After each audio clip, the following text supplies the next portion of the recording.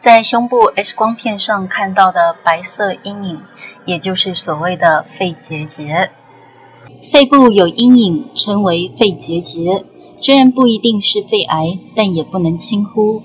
一个有经验的医师。通常可以初步判定肺结节是良性或恶性，但大多还是必须要经过检查才能做出正确的诊断。一般我们讲说，如果你存在比如大两年哦，那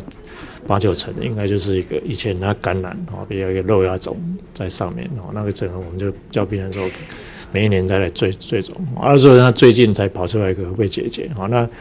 大部分就是有两个原因造成，一个就是发炎的原因，哦，比如说比如他感染，哦，或者说在台湾常见的肺结核，哦，另外一个就是怕有肿瘤，哦，就是说他的病人如果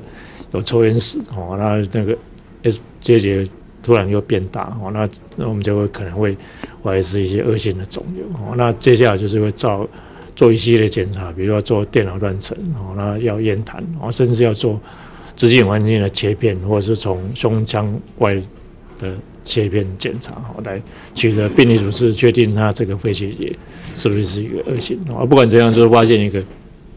肺部一个结节，那常常就是要定期来照 X 光。如果他不做这侵入性的检查，跟病人讲说，自期嘛，你两三个月我一定要来照这个 X 光，胸部 X 光的追踪检查。哦，有些病人就是他认为说没有什么症状，他甚至到一两年才照 X 光。如果是不幸的话，是一个。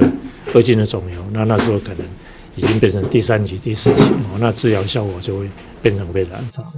肺结节有可能是肺结核、发炎性肉芽组织、霉菌感染、肺癌，也可能是良性肿瘤。为了确认良性或恶性，通常可以先做电脑断层扫描，观察整个纵隔腔的状况。法界新闻记者赖一荣、许鹤勇台北采访报道。